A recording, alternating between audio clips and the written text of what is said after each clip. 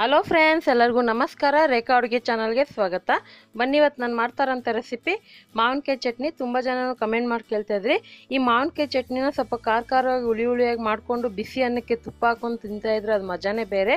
ಇದು ಮಾಡೋದು ಸುಲಭ, ಇದು ಹೇಗೆ ಮಾಡೋದು, ಇದಕ್ಕೆ ಬೇಕಾಗೋ ಇಂಗ್ರೀಡಿಯೆಂಟ್ಸ್ ನೋಡ್ಕೊಬರೋಣ ಇಲ್ಲಿ ಒಂದು ಹುಳಿ ಮಾವಿನಕಾಯಿನ ನಾನು ಕಟ್ ಮಾಡಿ ಇಟ್ಕೊಂಡಿದ್ದೀನಿ ನೀವು ಮಾವಿನಕಾಯಿ ಯಾವುದಾದ್ರೂ ಯೂಸ್ ಮಾಡ್ಕೋಬೋದು.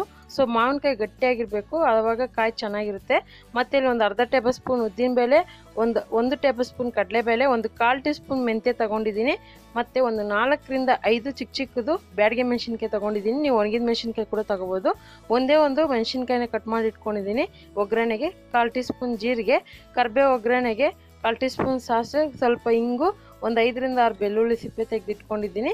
ಹಾಗೆ ರುಚಿಗೆ ತಕ್ಕಷ್ಟು ಉಪ್ಪು ಒಗ್ಗರಣೆಗೆ ಎಣ್ಣೆ ಈಗ ಹೇಗೆ ಮಾಡೋದಂತ ನೋಡ್ಕೊಬರೋಣ ಬನ್ನಿ. ಈಗ ಒಂದು ಫ್ರೈ ಪ್ಯಾನ್ ಇಟ್ಕೊಂಡು ಜಸ್ಟ್ ಇದಕ್ಕೆ ಒಂದು ಟೀ ಸ್ಪೂನ್ ಎಣ್ಣೆ ಹಾಕ್ಕೊಂಡಿದ್ದೀನಿ.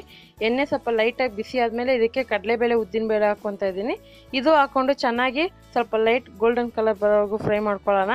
ಸೊ ಇದು ಫ್ರೈ ಆಗೋವಾಗನೇ ಇದಕ್ಕೆ ಬ್ಯಾಡಗಿ ಮೆಣಸಿನ್ಕಾಯಿ ಕೂಡ ಹಾಕ್ಕೊತಾ ಇದ್ದೀನಿ. ನೋಡಿ, ಕಡಲೆಬೇಳೆ, ಉದ್ದಿನಬೇಳೆ ಮತ್ತು ಮೆಂತ್ಯ ಒಣಗಿದ ಮೆಣಸಿನ್ಕಾಯಿ, ಅಂದರೆ ಬ್ಯಾಡಗಿ ಮೆಣಸಿನ್ಕಾಯಿ. ನೀವು ಬೇಕಂದರೆ ಒಣಗಿದ ಮೆಣಸಿನ್ಕಾಯಿ ಕೂಡ ಯೂಸ್ ಮಾಡ್ಕೋಬೋದು.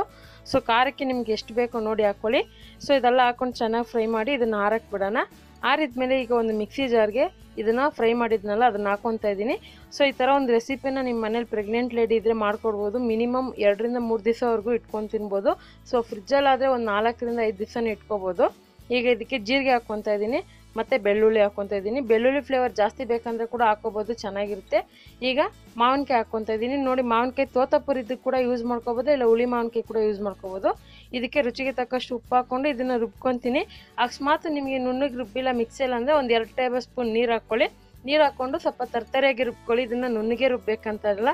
ಸ್ವಲ್ಪ ತರ್ತರಿಯಾಗಿದ್ದರೆ ಊಟದ ಜೊತೆ ತಿನ್ನೋಕೆ ಚೆನ್ನಾಗಿರುತ್ತೆ. ಸೊ ನುಣ್ಣಗೆ ರುಬ್ಬಿದ್ರೆ ಅಷ್ಟು ಚೆನ್ನಾಗಿರೋದಲ್ಲ. ಇವಾಗ ಈಗ ಒಗ್ಗರಣೆ ಹಾಕ್ಕೊಳ್ಳೋಣ ಸೊ ಇದು ರುಬ್ಬಿದಾಗಿದೆ ಪಕ್ಕಕ್ಕೆ ಇಟ್ಕೊಂಡು. ಈಗ ಅದೇ ಫ್ರೈ ಪ್ಯಾನ್ಗೆ ಸುಮಾರು ಒಂದು ಎರಡರಿಂದ ಮೂರು ಟೇಬಲ್ ಸ್ಪೂನ್ ಎಣ್ಣೆ ಹಾಕಿದೆ. ಸೊ ಮಾವಿನಕಾಯಿ ಚಟ್ನಿಗೆ ಎಣ್ಣೆ ಸ್ವಲ್ಪ ಜಾಸ್ತಿ ಇದೆ. ಅದೇ ಹೇಳ್ದಂಗೆ ನೀನು ಮೂರು ದಿವಸದಿಂದ ನಾಲ್ಕು ದಿವಸವರೆಗೂ ಕೆಡೋದಿಲ್ಲ. ಸೊ ಇವಾಗ ಇದಕ್ಕೆ ಸಾಸಿವೆ ಹಾಕ್ಕೊಂಡಿದ್ದೀನಿ ಮತ್ತು ಇಂಗು, ಒಣಗಿದ ಮೆಣಸಿನ್ಕಾಯಿ ಒಂದೇ ಒಂದು ಕಟ್ ಮಾಡಿ ಹಾಕ್ಕೊಂಡಿದ್ದೀನಿ ಸೊ ಇವಾಗ ಕೊನೆಯಲ್ಲಿ ಕರ್ಬೇವು ಹಾಕ್ಕೊತಿದ್ದೀನಿ ಕರ್ಬೇವು ಹಾಕ್ಕೊಂಬಿಟ್ಟು ರುಬ್ಬಿರೋ ಅಂಥ ಈ ಮಾವಿನಕಾಯಿ ಚಟ್ನಿ ಪೇಸ್ಟ್ ಹಾಕ್ಕೊತಾ ಇದ್ದೀನಿ. ಹಾಕೋ ಹಾಕ್ಕೊಂಡು ಇದನ್ನು ಜಸ್ಟ್ ಒಂದೇ ಒಂದು ನಿಮಿಷ ಮಾತ್ರ ಸಿಮ್ಮಲ್ಲೇ ಫ್ರೈ ಮಾಡ್ಕೋಬೇಕು. ಸಿಮ್ಮಲ್ಲೇ ಇಟ್ಕೊಳ್ಳಿ ಸ್ಟವ್ನ ಐ ಫ್ಲೇಮಲ್ಲಿ ಇಟ್ಕೋಬೇಡಿ. ಜಸ್ಟ್ ಒಂದು ನಿಮಿಷ ಫ್ರೈ ಮಾಡ್ಕೊಳ್ಳಿ ಸಾಕು. ಆ ನಂತರ ಇದನ್ನು ಒಂದು ಟಿಫನ್ ಬಾಕ್ಸ್ಗೋ ಪ್ಲಾಸ್ಟಿಕ್ ಬಾಕ್ಸ್ಗೋ ಯಾವುದ್ರಲ್ಲಾದರೂ ಹಾಕಿಟ್ಕೊಳ್ಳಿ. ನಾನು ಹೇಳ್ದಂಗೆ ಇದನ್ನು ಒಂದು ಟೂ ತ್ರೀ ಡೇಸ್ವರೆಗೂ ಇಟ್ಕೊಂಡು ತಿನ್ಬೋದು. ತುಂಬಾ ಚೆನ್ನಾಗಿರುತ್ತೆ. ಸೊ ಮಕ್ಕಳಿಗೆ ಏನಾದರೂ ನಿಮಗೆ ಹುಷಾರಿಲ್ದಿರಾಗ ಬಾಯಿ ಕೆಟ್ಟೋಗಿದ್ರೆ ಸೊ ಹುಳಿ ಹುಳಿಯಾಗಿ ಖಾರ ಖಾರಾಗಿ ಈ ಥರ ಒಂದು ಚಟ್ನಿನ ಬಿಸಿ ಬಿಸಿ ಅನ್ನಕ್ಕೆ ತುಪ್ಪ ಹಾಕೊಂಡು ತಿನ್ನಿ ತುಂಬಾ ಚೆನ್ನಾಗಿರುತ್ತೆ.